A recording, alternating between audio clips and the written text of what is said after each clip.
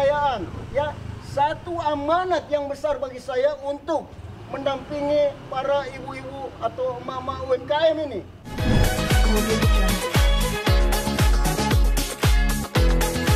Dengan hormat, tolong dibantu masyarakat kecil. Saya terus terang, saya terpanggil untuk ini, ya. Dan saya cukup bukti. Hari ini saya bawa semua bukti. Apa itu bang? Boleh? Apa itu? Baprit, Baik bang. Baprit, Apa mono? bukan. Uh, backup HP dulu deh. Mau ganti baterai. Masih pakai ini ya bu ya? Mau ganti baterai dulu. Kalau yang lalu saya nggak bawa bukti karena hujan-hujan teman-teman. Karena saya anggap bukti ini sudah mas tubi-tubi saya diberikan.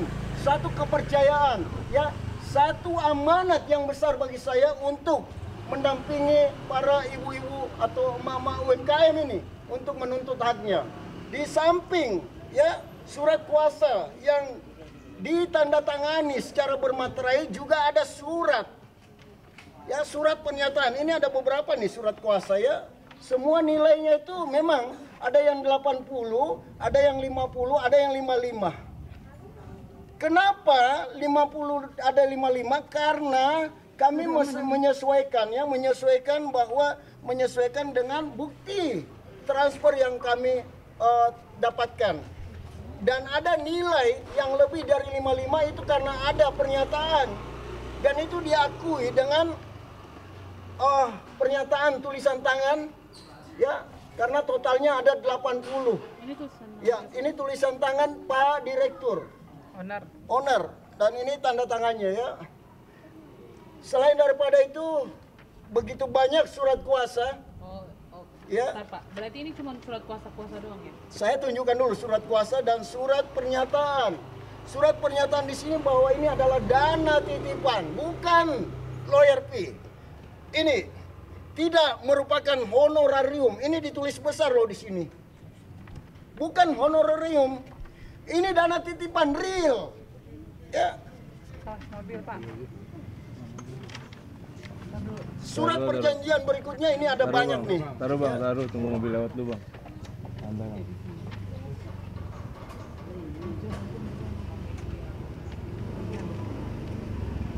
Oke. Bang Husin. Oke silakan bang, lagi bang. Nah, selain daripada surat kuasa dan surat pernyataan, ini kami tunjukkan juga bahwa kami memang sudah dari sini setelah melayangkan somasi ya bagi Elsa Sarif dan Vidi serta Farhad. Setelah adanya somasi ini, maka ada videonya yang negosiasi tadi kami diundang bersama para member UMKM ya yang mana eh, di video tersebut ya itu ada selisih daripada yang dikatakan lawyer fee tadi.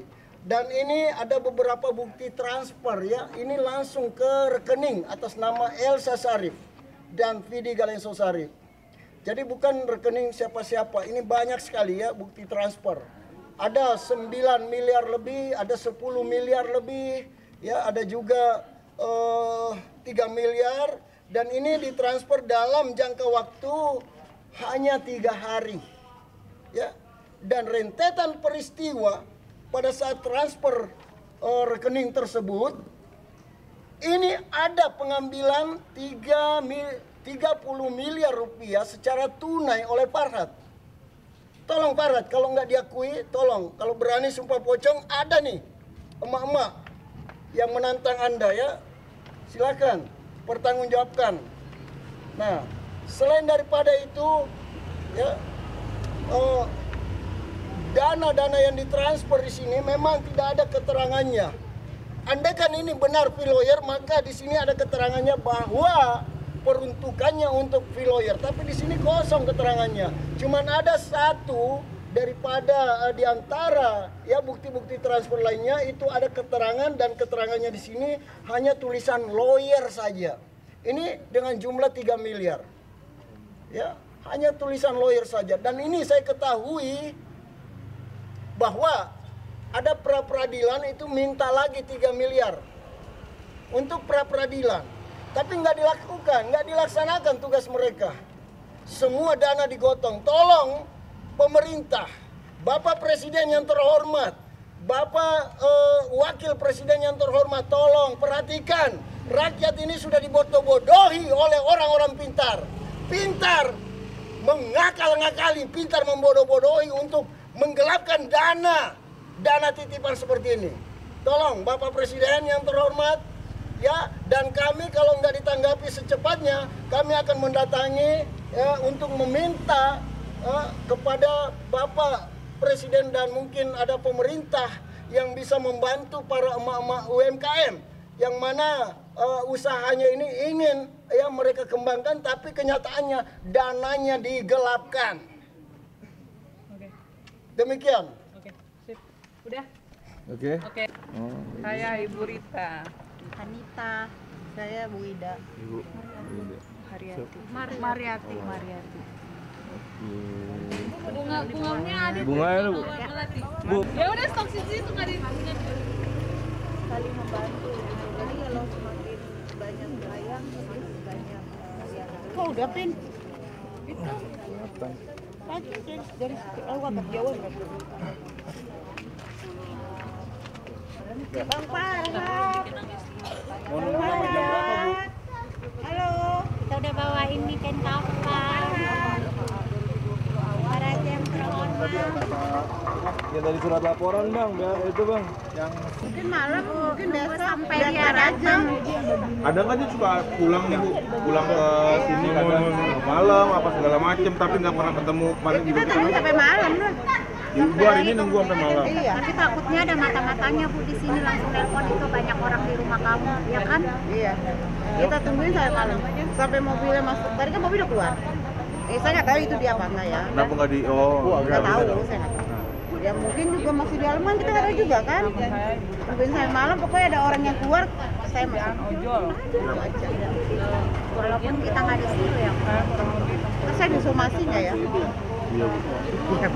Ada 7 M ini, ada 7 miliar eh, yang yang mereka anggap sebagai rencana anggaran biaya. Kalau ada ntar hari ini nggak ini ya, saya datang lagi. yang nggak nemuin kita berarti Datang lagi. jangan nepo-nepo aja di, di ini bersuara bilangnya Yang mana? Yang tadi Abang ada ada pernyataan apa? Cium-cium apa, Bang? Pernyataan owner nih. Pernyataan ini. Ah, itu. Pernyataan. Tulisan tangan. Ada juga pernyataan yang ada Mungkin tadi Abang bilang nggak ada. yang kesel Kang, Kang, awas Kang, Kang, awas Kang, berat Kang, gua Kang. Ah, goyang, goyang, dan megang apa? Buset jalan-jalan Lagi liburan, belum madu. Bu Elsa, katanya yang ada yang ngirim sih videonya ke saya ada yang ngirim. Orang bermasalah dia liburan. Dari di sini, saya yang sama Pandi yang bergerak ke rumah Bu Elsa. Bebe pulang pergi. Ke kantornya sama ke rumahnya di Kelapa Gading.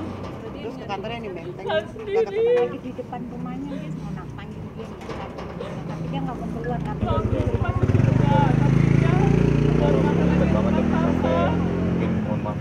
eh, hari-hari ibu mungkin susah buat kebutuhan hidup juga Soalnya mas, sekarang saya sekarang saya bayar utang. Saya nggak ada mobil. Saya nggak di apa nggak ada mobil. Abis habisan saya mas, kalau nggak ada habis bener. Selama 10 tahun mas. Per bulan. Kelas 3 SMP kelas Oh, yang itu mas, anak saya tiga saya janda loh mas.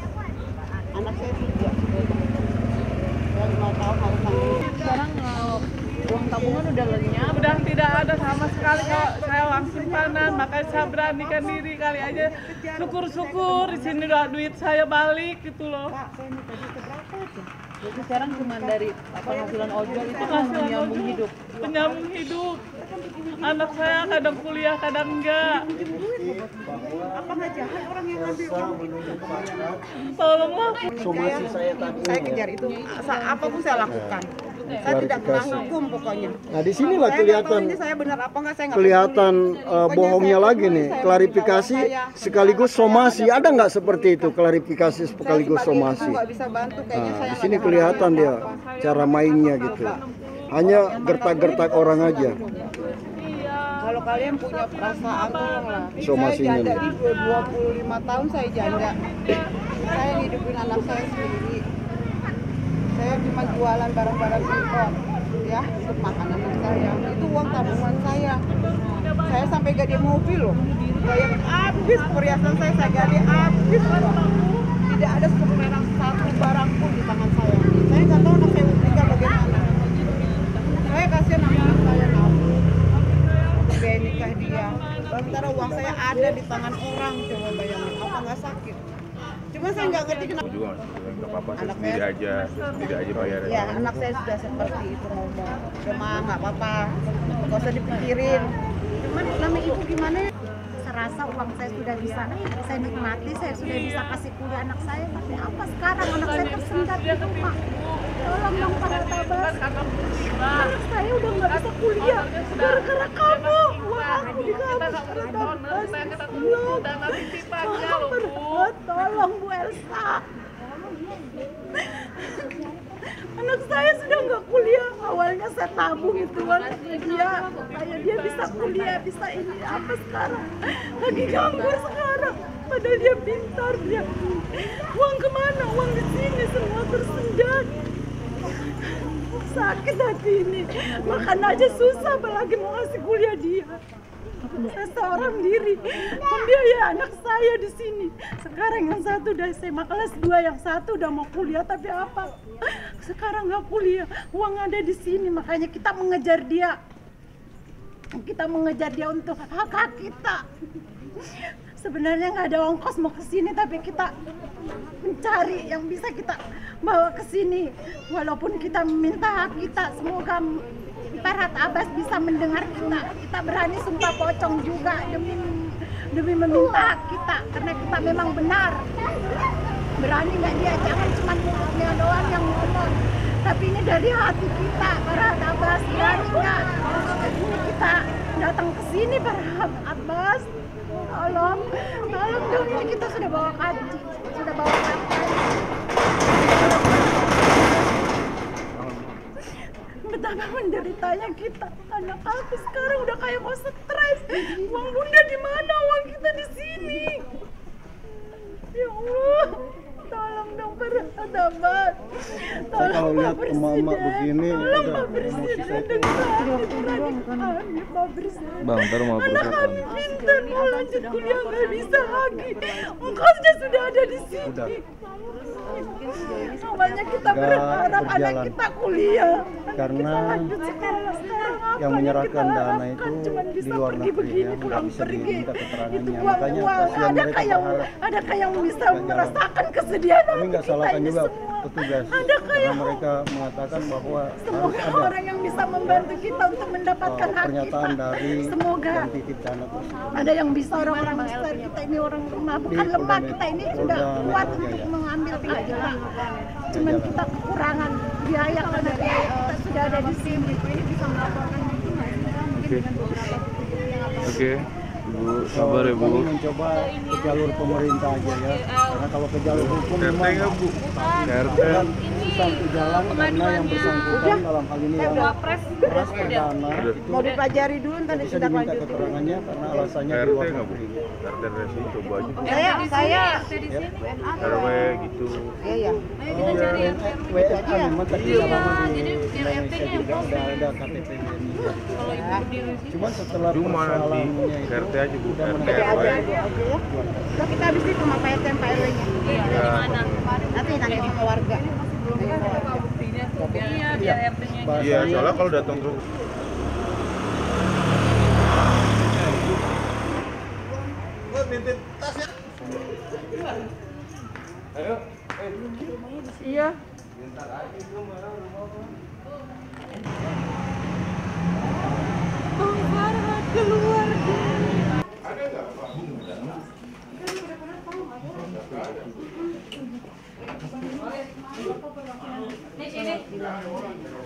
Iya.